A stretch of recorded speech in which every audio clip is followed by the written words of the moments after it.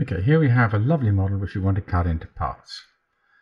The first thing we need to do is make sure we've applied the scale and rotation to this model. Now, this particular model, I haven't done any scaling or rotation, but we still need to make sure. Select the model, object, apply, rotation and scale.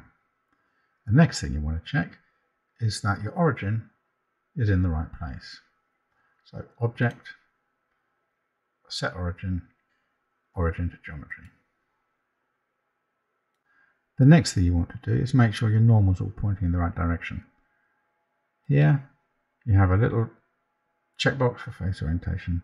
Check that and everything will go blue if it's correct. Mine doesn't go blue because I've set mine to transparent. But nevertheless, you want blue.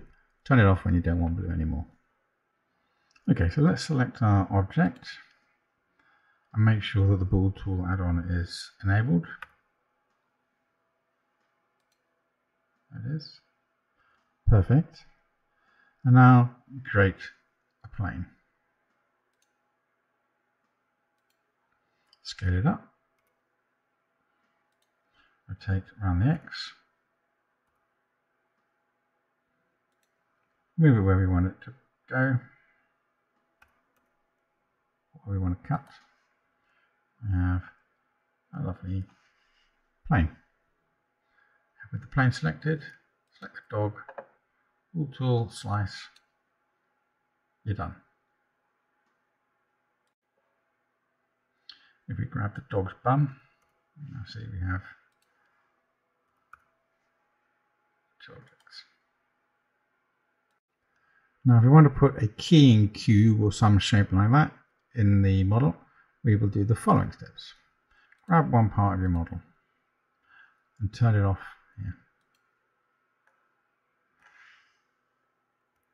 Put the 3D cursor in the center here and add a cube.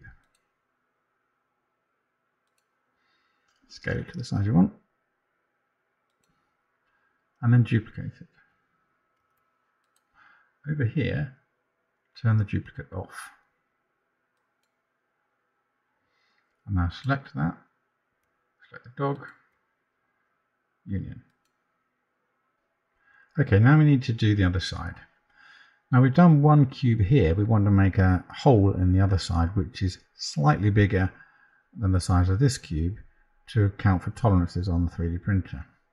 So bring back the first part and turn off the bit we've just done and turn on the cube, the duplicate cube we made before. Now if we look, we have a cube here, but it's exactly the same size as the cube we had on the other half. So we now need to increase the size of this. And the best way to do it is manually here. Now I have 0.656 millimeters on each side for this cube, and I'll make it 0.8.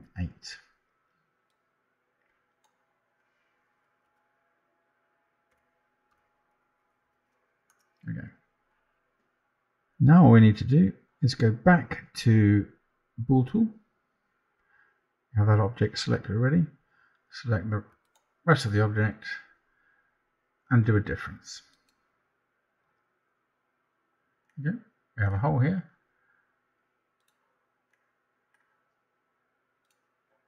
And we have a peg there. Simple.